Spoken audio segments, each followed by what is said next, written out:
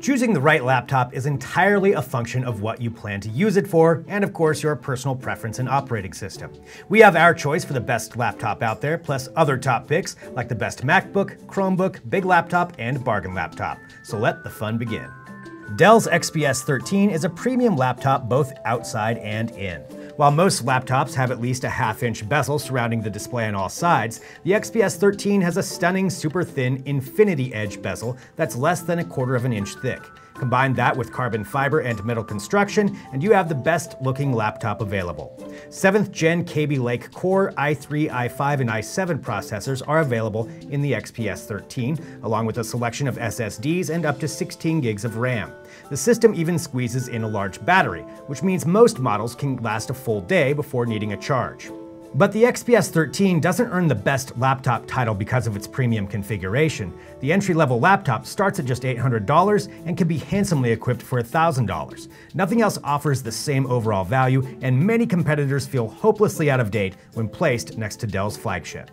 Most people look for a Mac for one of two reasons. You're either a fan of Mac OS or you're a fan of the Apple brand. If you're in the first group, we recommend you purchase the MacBook Pro 13 without the Touch Bar. That's because the Touch Bar just doesn't add enough functionality, certainly not enough to justify an extra $300 to an already high price tag. Now, if you're looking at a Mac based on reputation, we strongly suggest you reconsider. Producing cutting edge computers isn't Apple's business anymore, and all of the Mac models come with processors that are one one or two generations old. Sure, macOS is a fine operating system, but we think Windows 10 is even better. Finally, and most importantly, Apple's laptops are just too expensive for the hardware they offer. Sure, Apple has excellent customer service and repair options, but if you're looking for value in a laptop, the Mac doesn't offer it.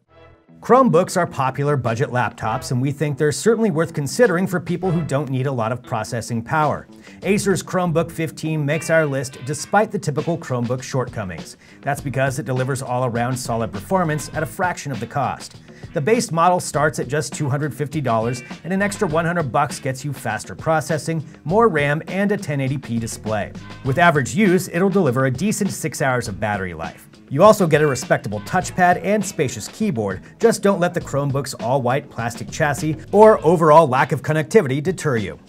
Two-in-one laptops are still something of an acquired taste, but if you're not sure about laptops as tablets, the HP Spectre X360 might change your mind. First and foremost, it's a stylish, lightweight, and powerful laptop.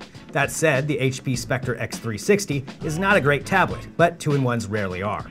As a laptop, the form factor is particularly impressive when you consider the kind of power it packs. There are three configurations ranging from $1,000 to $1,500, but each one has a 7th gen Kaby Lake processor under the hood.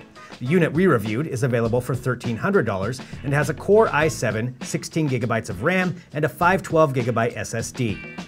That extra performance really shows. Not only did it perform spectacularly well in our benchmarks, it turned out excellent performance as an everyday workhorse. It's quick, snappy, and versatile, everything you could want out of an ultra-portable laptop.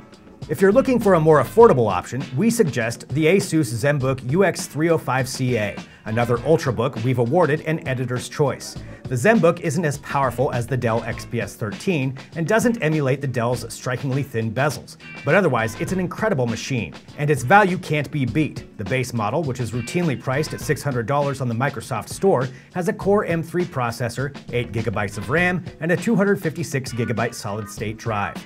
That's twice the memory and storage of the $800 Dell XPS 13 and far better than what you'll find in other competitors. If you're looking for something with a larger display, Dell also has the XPS 15. It's great for all the same reasons the XPS 13 is great, and because it's larger, can be optioned with the fastest hardware available today, including a quad-core processor, NVIDIA mobile graphics, and a 4K display. We don't like it quite as much as its little brother because it's quite expensive, and the battery doesn't hold up as well relative to the competition, but it's definitely the best 15-inch laptop available right now.